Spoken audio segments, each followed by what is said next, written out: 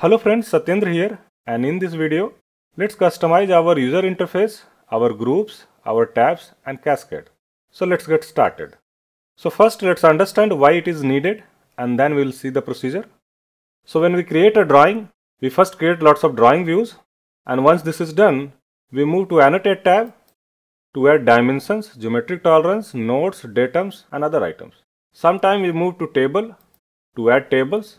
Sometime we move to sketch to add sketches. Sometime we move to tools to add relation. So there are lot of cursor movement from one tab to another tab. Sometime while adding annotations, you frequently move to layout and annotate to add different items. So there will be lot of cursor movement from one tab to another tab which consumes lot of time and slower our process. And to avoid this, we can add our most frequently used commands like dimension, geometry tolerance, node, datums directly to layout tab somewhere here. So when you have all your useful command within one tab, then you can avoid lot of cursor movement from this tab to that tab and you can faster your process. And that is why customizing our user interface becomes helpful. So customizing this user interface is nothing but customizing this ribbon so this was the need of user interface customization. Now let's see the procedure. So in my case, what actually I need is, I want to add this annotation group within my layout tab, somewhere here. Now if you see this annotation group, this is a big group. So I need this much space here. And to increase this space, I will reduce this space. And to reduce this, we have different methods here.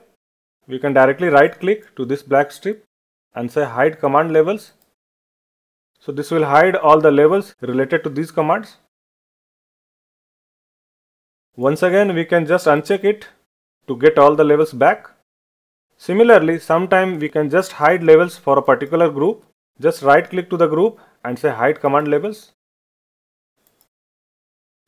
Just like this and you can increase the space. If you want this level back, you can just uncheck it So if you do the same thing using this black strip, then you can do for entire group.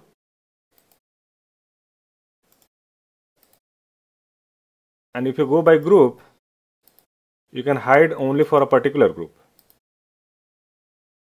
Another option we have is minimize the ribbon. So when you minimize the ribbon, you increase your workspace. So each time you need to click the tab to access your command.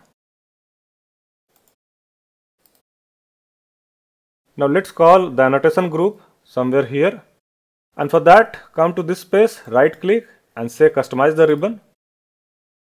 Now here you have an option called new. If you click here you get three options here new tab, new group and new cascade. So what these three means? So when we say new tab that means we are talking about these tabs. So you can add a new tab somewhere here and you can add different command groups from different tabs to your new tab. So let's add a new tab. Go to new and say new tab. Now you got a new tab which is called new tab which is somewhere here. This tab you can move this side just by selecting it and moving it down.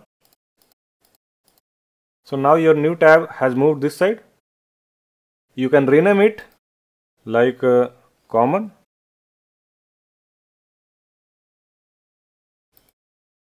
So now you have a new tab here which is blank.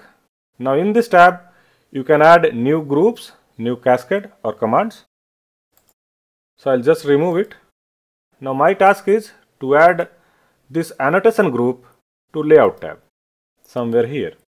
And for that first you select the layout tab then go to annotate tab and select the annotation group move it this side so the moment you move this side, it got added here. Now you can see this group somewhere here. It is coming here. Now this group again you can move it wherever you want and I'll just say OK.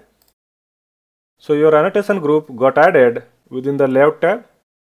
Now the same group you have in annotate also and in layout also. So now if you need something to do from annotation, you can do within layout tab and you can frequently add items from layout tab also. Now once again I will right click here. I will go to customize ribbon. Now if you go to new, you have new groups and new cascade. So I'll just hide all the labels for all the groups like this. Once again I will right click and I'll go to customize the ribbon. Now if you come to new, you have new group and new cascade. So if you see new groups, these all are groups. If you go to table, this is one group, this is one group, this data is one group, balloons are one group. If you come to annotate, these all are groups. So you can add a new group somewhere here and you can add different commands within that group. So to add the group, go to new, say new group. Now one group got added here. Again you can move it down like this. You can rename it like sketch.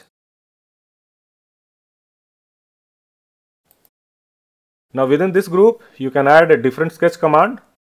And to add sketch command, first you go to sketch tab. So you will have all sketch related commands here.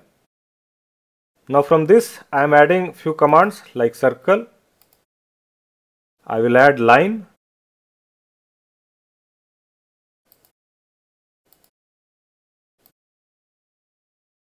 I will add parametric sketch and I'll say OK. Now you got a new group within your layout tab with these three commands.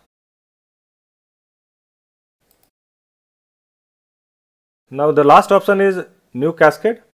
So if you see the cascade, this is your cascade, the group within the group. This is also one cascade.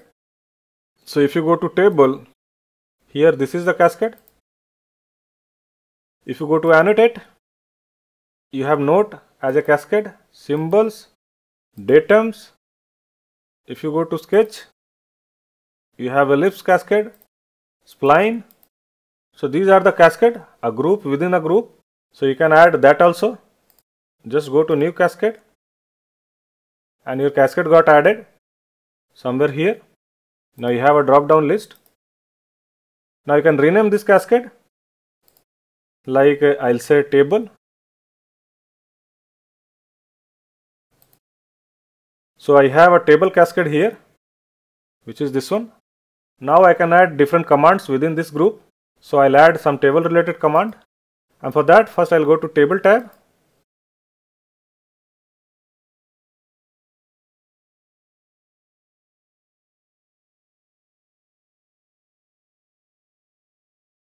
So you have your table command within this cascade. Similarly, you can add other commands and you can say OK. So now you have a cascade with these commands. You can add table directly within the layout tab.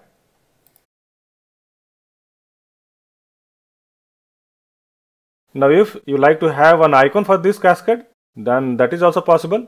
Just select the cascade and go to modify. Now here you have different options. I'll just go to choose from existing. And these many icons you have, you can select a suitable icon from here or you can create your own icon. So in this case, I will just select this icon. So now you got one icon for your cascade and the same icon is reflecting here. Say OK and your cascade is created. So now if you go to this cascade, you have these commands. I have label here. Now if I want level for this group, I can just unhide it. If I want level for this group, I can unhide it. So now you have all your frequently used commands within one tab and this will avoid lot of cursor movement from this tab to that tab which will save your lot of time and improve your process. And the same setting can be done for part modeling So here also you can go to this black strip, right click and say hide command labels. You can unhide it and you can go for customize the ribbon. Here also you have all three options. So you can create a new tab, group or cascade. And the best part of this customization is once you have customized your ribbon, this will be permanently saved. So whenever you close your current session and relaunch your Creo parametric, you get all the customization done automatically so this was the procedure and the use of customizing your user interface, your tab, your groups and your cascade. and I hope this video will be helpful. Now hit the like button if you find this video helpful and I'll see you in my next video. Thank you.